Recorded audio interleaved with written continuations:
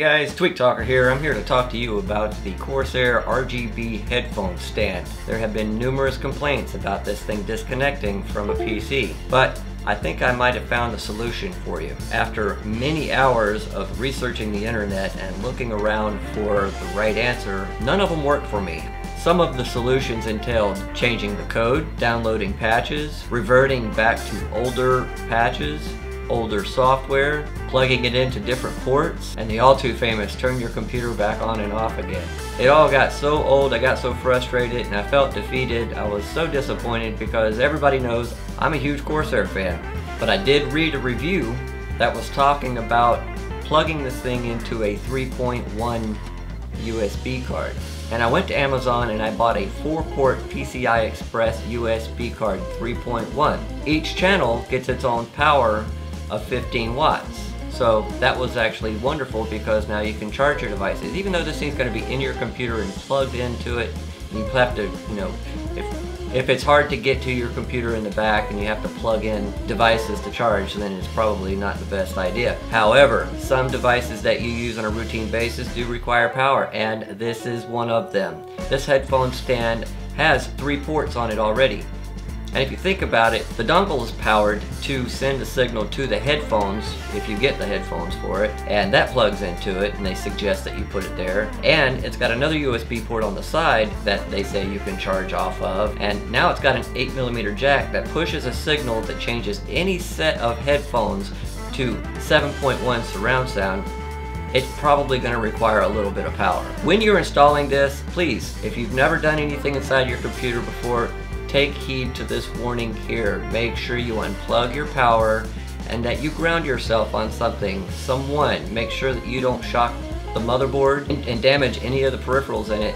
And also, don't shock yourself. Open up your case, and if you have a PCI Express card slot available in your computer, you will take this card and you will insert it into the slot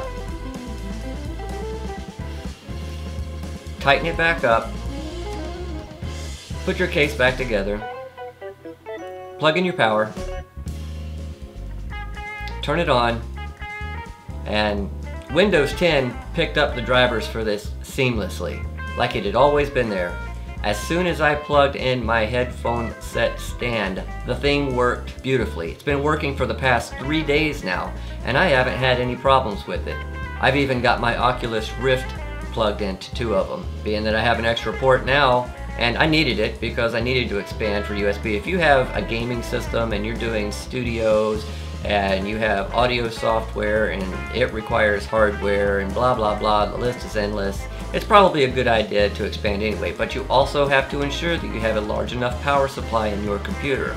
Now, I'm lucky enough to have an 850 watt power supply in my computer and I'm only running one peripheral that really requires a lot of power and that's a 1080 GTX. But if your power supply is too small, make sure that you spend some time or money and upgrade that as well. And if you don't know how to, either ask a friend or take it to a professional and have them put that power supply in for you. Now you'll be able to use all of your peripherals.